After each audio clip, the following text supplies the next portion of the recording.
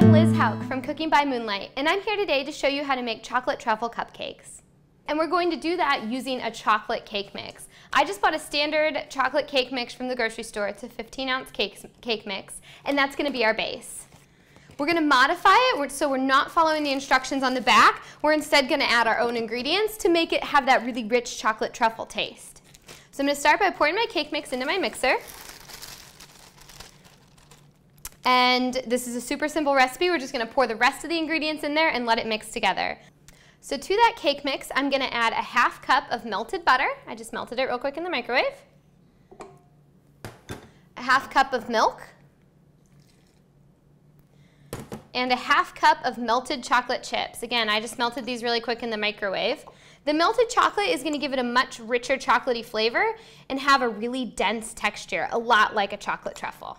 All right, once everything's in there, you're just gonna turn the mixer on at a medium speed and just mix it until everything is all incorporated. It will be a very sticky batter, but you don't wanna have a lot of lumps or anything. You just wanna stir it until there aren't any big lumps of cake batter.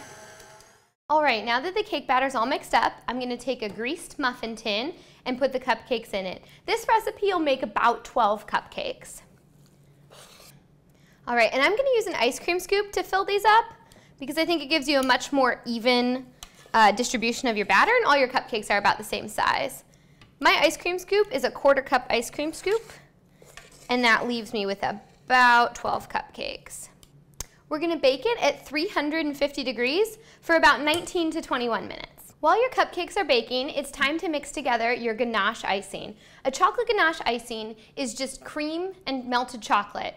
It comes together at room temperature and forms a really delicious, rich, chocolatey icing, a lot like you'd have on a truffle. So this is what's really gonna make these rich chocolate cupcakes have that truffle feel. So in order to make that, I have 2 thirds of a cup of heavy cream, which I've heated up until almost boiling. And I'm gonna pour that into a large dish. And to that hot cream, I'm gonna add 12 ounces of chocolate chips. You could also use baking chocolate if you wanted. I used a dark chocolate here because the cupcakes are gonna be sweet, so I didn't want the icing to be too sweet. You're just gonna whisk this together until you have a nice smooth texture and all your chocolate chips have melted. The cream should be enough heat to melt the chips. You shouldn't have to put this over a double boiler or over direct heat. But if you are having trouble getting all your chips to melt, you can always toss this in the microwave again for about 10 seconds. When you're making your chocolate ganache, you want to try to use a good quality chocolate if you can find one. The better the chocolate, the more rich the taste is going to have, and the easier it's going to melt. After all your chocolate chips have melted and you have a nice glossy texture, you're just gonna leave that sit to get to room temperature. You want it to firm up and be um, firm to the touch so you wouldn't get a gooey mess on your finger. I'm gonna transfer it into a smaller bowl and actually put it in the refrigerator for a little while.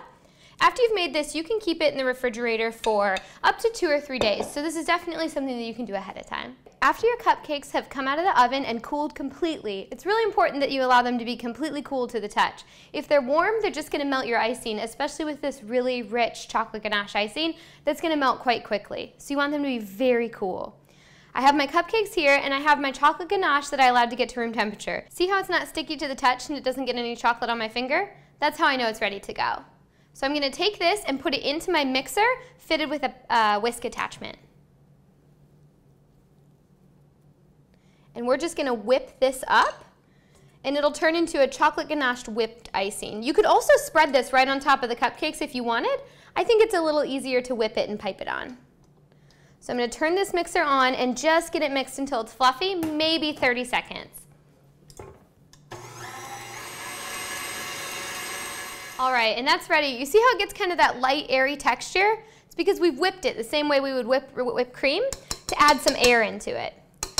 One thing that I do want you to know is important here is now that it's whipped, we're gonna pipe, I'm gonna use a piping bag to pipe it on.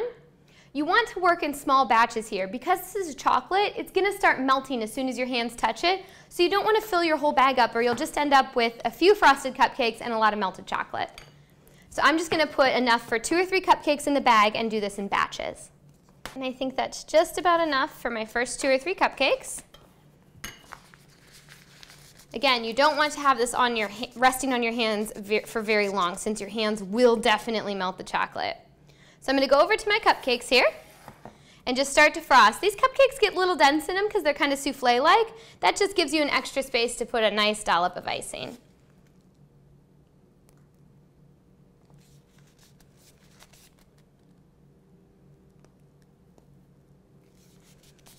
I'm just gonna pipe a little more of that icing on there. You can use as much icing as you like. Some people like a lot of icing on their cake and some people like just a little bit of icing. So it's really up to you. The ingredients that I gave you the recipe for should make enough icing for about all 12 of the cupcakes with a pretty moderate amount of icing. If you want more, I'd probably double that recipe. Here are your chocolate truffle cupcakes. They're ready to go. Since this icing is so easy to melt, I'd probably store them in the refrigerator until about an hour before you serve them.